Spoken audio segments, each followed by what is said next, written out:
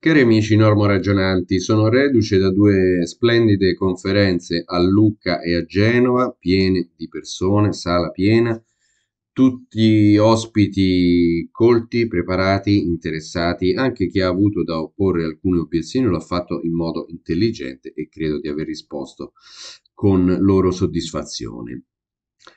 Eh, oggi sono per darvi una vera chicca, eh, tipica dell'effetto Ratzinger. Sapete di che cosa sto parlando? Di quel particolarissimo ed esilarante, ed esilarante fenomeno per cui i nemici di Papa Benedetto, cioè i legittimisti di Bergoglio, che siano una cum o smaccatamente bergogliani, svelano involontariamente prove, dettagli e informazioni che gridano la verità sull'antipapato in corso.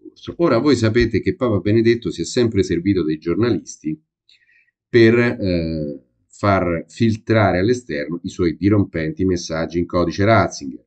Uno su tutti, Massimo Franco, che ci ha regalato quel il Papa è uno solo, non ci sono due papi, da cui ha preso le mosse la mia inchiesta. Per non parlare di Andrea Tornielli, il quale praticamente mi dà del ciarlatano, anzi se riuscite a trovare il filmato eh, disse una cosa del genere durante una trasmissione pomeridiana, probabilmente dopo la morte di Papa Benedetto, mi fareste un favore. Nel caso scrivetemi a codice Ratzinger chiocciolalibero.it. Insomma, Andrea Tornielli chiese nel 2016 al Papa Benedetto perché avesse mantenuto il nome pontificale e la veste bianca e lui, come sapete, rispose, beh, era la cosa più pratica perché al momento della rinuncia non c'erano a disposizione altri vestiti e quindi vi lascio immaginare, no? Vi pare che Papa Benedetto in tre anni non era riuscito a trovare una talare nera filettata di rosso o di porpora? Beh. Ma oggi l'effetto Ratzinger meraviglioso tocca ad Aldo Maria Valli, che come sapete purtroppo eh, fa parte dello schieramento Unacum. Lui non si capacita del perché sui social viene massacrato dagli utenti, eh, ma eh, Caro Aldo, il problema è che tu stai conducendo la battaglia sbagliata perché stai legittimando Bergoglio, mentre stai disconoscendo quello che ha fatto Papa Benedetto e che è stato dimostrato da latinisti, storici della Chiesa, eh, canonisti, giuristi, eccetera, eccetera. Allora, eh, ringrazio la lettrice Benedetta che mi ha eh, fatto conoscere qualcosa che mi era sfuggito, cioè il 2 gennaio scorso, a tre giorni dalla morte del Santo Padre, Aldo Maria Valli pubblica una lettera che lui aveva ricevuto nel 2013. Questa lettera era esattamente di dieci anni fa.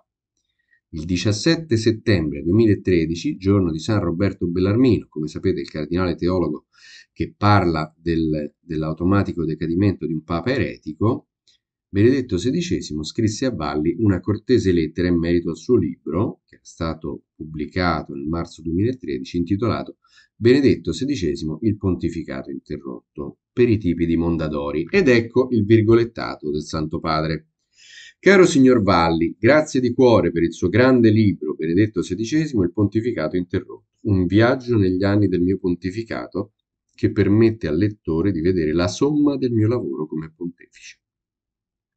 In questa occasione vorrei dire grazie per tutto il suo lavoro in questo periodo e per il suo impegno di far arrivare il messaggio del Vangelo ai nostri contemporanei. Sia sicuro del mio ricordo nella preghiera. Suo nel Signore, Benedetto XVI. Ecco, io vi suggerisco di premere il tasto pausa di questo video e di riflettere da soli su queste righe. Provate da soli a capire cos'è il codice Ratzinger che è contenuto in queste, in queste righe. Bene, se avete deciso di continuare perché magari non ci siete arrivati, eh, il senso logico dello scritto è sottile ma assolutamente univoco e Aldo Maria Valli non se n'è mai accorto, tanto che candidamente l'ha reso pubblico e noi di questo lo ringraziamo, perché è l'ennesima prova che si va ad ammonticchiare sul cumulo di plateali eh, dimostrazioni della sede impedita di Papa Benedetto. Ecco, come è evidente, Papa Benedetto, pur facendo un riferimento temporale al viaggio di Valli negli anni del suo pontificato, cioè dal 2005 al 2013, perché le dimissioni sono del 2013, Benedetto scrive nel settembre 2013, quindi il lasso di tempo è questo, però ringrazia Valli per aver presentato al lettore solo la somma del suo lavoro, del suo lavoro, cioè del suo fare il Papa, ovvero del suo ministero.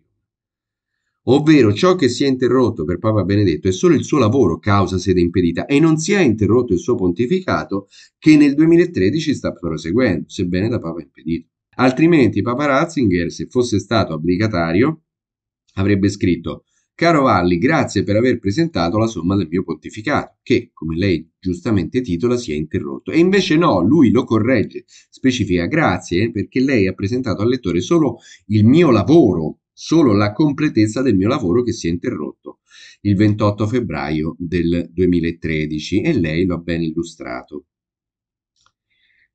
Un dato storico che voi potete verificare con un clic è che eh, il pontificato di un papa dura anche se questi è impossibilitato a governare. Andate su Wikipedia, cercate la voce Pio VI, il quale, esiliato e deportato da Napoleone nel 1798, concluse il suo pontificato con la morte in prigionia avvenuta il 29 agosto del 1799 e infatti solo dopo la sua morte venne convocato il conclave che avrebbe eletto il successore Pio VII il 21 marzo del 1800. Se Pio VII fosse stato eletto da un conclave mentre Pio VI era esiliato e deportato, vivo e non abdicatario, Pio VII sarebbe stato un, un antipapa, ovviamente, perché il conclave sarebbe stato illegittimo. Ma attenzione, attenzione, perché c'è anche un riferimento allusivo, questo più leggero, ma ancora più ficcante, ancora più preciso. Vi rileggo la seconda frase. In questa occasione vorrei dire grazie per tutto il suo lavoro in questo periodo e per il suo impegno di far arrivare il messaggio del Vangelo ai nostri contemporanei. Ecco, lui aveva parlato del, eh, della somma del suo lavoro e poi ringrazia Valli per il suo lavoro. Perché questa ripetizione un po' fastidiosa, no? Perché il lavoro che Valli sta proseguendo è quello di far arrivare il messaggio del Vangelo, cioè proprio quell'annunciare il Vangelo che era parte del lavoro, cioè del ministerium del Papa al quale Benedetto come specificò nella stessa declarazio, aveva annunciato. Virgolette, per governare la barca di San Pietro e annunciare il Vangelo è necessario sia il vigore del corpo, dell'animo, che vigore che negli ultimi mesi in me è diminuito in modo tale da dover riconoscere la mia incapacità di amministrare bene il ministero a me affidato. Come a dire grazie Valli perché lei prosegue quel mio lavoro che non posso più esercitare, cioè annunciare il Vangelo.